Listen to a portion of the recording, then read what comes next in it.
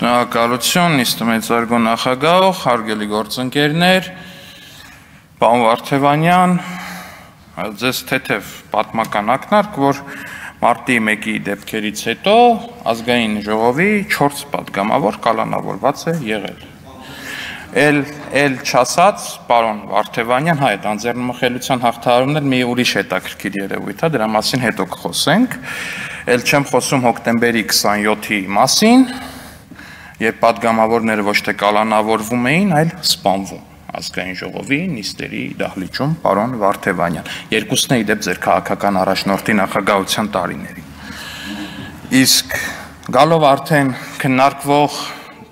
Հայաստան խմբակցության կողմից առաջարկված նախագծի տեքստին, որտեղ կա մի այսպիսի բառակապակցություն, կառավարությանը կոչ ենք անում Հայաստանի հայ ժողովրդի թիկունքում հակահայկական ինչ որ քայլեր եւ այլն, պարոն Օհանյան եւ պարոն Մինասյան, առաջարկում եմ մի հատ տեքստ գրեք, որով Ռոբերտ Քոչյանին կոչ կանենք, Օրինակ Ադրբեջանի իշխանությունների հետ չհամագործակցել, Հայաստանի շահերի դեմ ոչինչ չանել,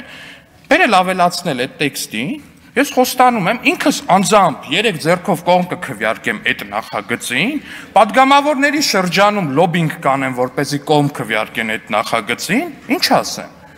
չեք անում։ Ձեր որտեվ ձեր պատկերացմամբ այդ իբր նորմալ է, որ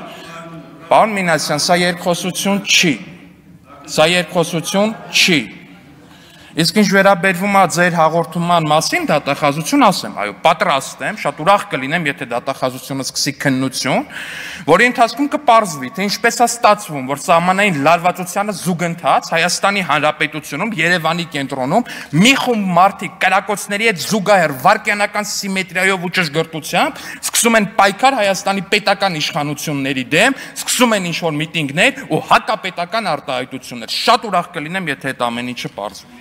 Շնորհակալություն, պարոն